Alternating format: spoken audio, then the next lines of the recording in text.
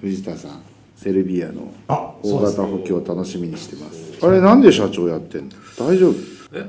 大変なんじゃない？社それ大変。長だよ社長だよ。もうそれしかないかなと思って、へえね結構長く投資しちゃってるんでやっぱそれに見合うように辻褄合わせに持ってかなきゃいけないから、まあ、自分で責任取るしかないかなっていう感じで別におめでたくないですよ。堀江さんの言う通りめでたい感じで書かれてまし誰かがやってくれるのが本当一番理想的は理想的、あー。きついよね。大変だよね。もうだって負けるたんびに「俺は藤田」とか言われるわけでしょ。本当そうだよ。やつがですよね。そんな感じなんですね。サッカーのオーナーって本当にねいいことないですよやっぱねこのスポンサーだけやってるとサポーターからファン感謝されてああありがとうございますの方うん。いつもありがとう。が多いですよね。俺一番金払ってるのオーナーなんですよ。J リーグって赤字にできないんで宣伝1項目で毎年こう補填するんだけど、うん。それが表に出ないんで、はい。その一番金出してるスポンサーなのにふざけんなみたいな感じにな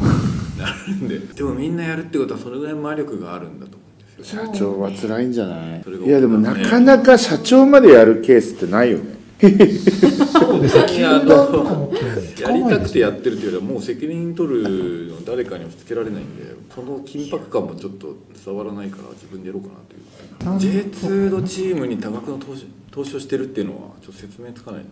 なんか多額の投資をして勝てないと、まあ、ヴィッセルとかもそんな感じになったし長崎とかもそうなんだけど、うん。意外と文句言われるんだよね。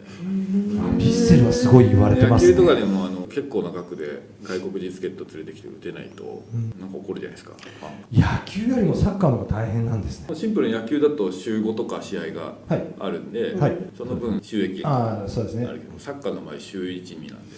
あとね野球はアパレルが売れるんだよね。普通の球団のオフィシャルアパレルがすごい売れるんですよ。確かに買うわ私。普段からキャップとかさかぶってんじゃん。野球帽ってかぶるよね。なんか被ります。被り普段から子供とかでも普通にかぶってかぶってますね。そうそうそうあれ相当売れんだよね。サッカーってキャップないじゃん。まああるんだけどかぶんないじゃんそんあんまり印象ないですね。ジャージぐらいしか買わないんだよね。結局人気があるチームに入場者数も増えるし、グッズも売れるし、スポンサーも入って、広島カープなんか半分近く売ってたからねだけど勝てないと結局人気も落ちるんで売り上げも下がるんですよ。本当に03の戦いを J1J2 の。特に J2 はね大変なんだよ。しかもだから放映権料でもなんかいろいろまた火吹いてんでしょよくわかんないけど。なんかダゾーンの加入者とか全然増えてないんだよね日本で。そもそものビジネスモデルの見立てがちょっと間違えたくさいんだよね。あそう。だってそう思わないサブスクがすごい世界的な流行の時に月に2000円とかでやってやっぱスカパーで契約した時から考えると激安になったなみたいな感じ、そうですね。全部見れちゃうんで、はスカパーってもっと高かった？チャンネルごとに契約が増えていくから俺は月2万円ぐらい払ってたもんね。なんかそんな払ってた？のうん。だからこのチャンネルも見たいこのチャンネルも見たいって追加してるんだよあだからサブスクでその何でもかんでも一緒になっちゃったからそれが2000円とかで見れるようになったってことね。だから本当はもっと単価上げなきゃいけないんだけどそういうことですよね。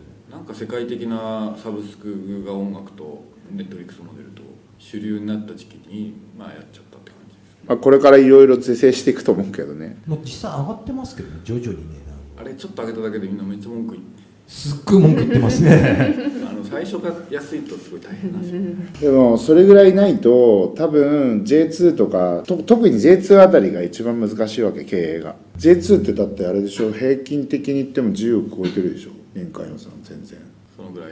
まあまあ J1 を目指すか目指さないかとかっていうのもよるんだけどやっぱ10億はかかるわけですよ10億。おっしゃる通りで J2 をダラダラ入れると一番きついんですよ、岡ちゃんのさ今治とかさ、はいはいはいはい。はもうもともとそれぐらいあの会社って集めてる集金能力高い会社だから、J3 行ってもまあまあ健闘してるじゃない、J2 に上がれるか上がれないかぐらい上がれないかぐらいですね。あの会社はすげえ頑張って J2 上がったらもう一気に J1 までバーっていくと思うよっていうようなところだしそう J2 が一番苦しい。10億台でしかも放映権料はまあまあのポーション占めてるはずだから、そうなると。J1 はまたねスポンサーとかもでかいし今ちょっと話が変わってくる。また全然すごいんだけどダゾーンとかの放映権料が上がってブーブー文句言ってる J2 のサポーターはダメだよって。あなたが金払わないと J2 のチームは存続できないよっていう一番言ってそうですけどね。J2 の人がまあ一番言ってそうですけど。書いてありますね。もっとドキュメントを充実できないんですかね。チームを応援する理由がない人がいっぱいいると思いますよ。あ選手の選手の人人生生ととか頑張ってるとことか格闘技みたいな感じでしょなんか。でアベマで番組やってるんだけど、うん。やっぱそういうのがこう火火がつくのもやっぱり J1 昇格するとか。ううんん。高校野球はアベマでもやってほしい。正直それすごいや大変なんですよ結構ね試合中に馬が出走したりする時。そういうことですよね。だから僕土曜日日曜日だから 藤田さんで競馬見に行ったらめっちゃ怒りそうじゃないですかサポーターいや100%怒るでしょうね競馬が大事なんですよ。そっちも大事なんですよ。